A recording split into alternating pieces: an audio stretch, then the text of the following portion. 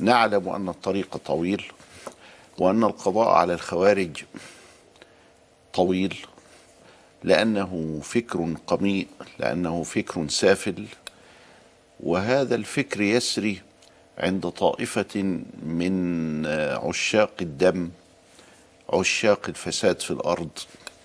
ولذلك لما صدر الخوارج الأول صدروا وظهروا في سنة 37 هجري.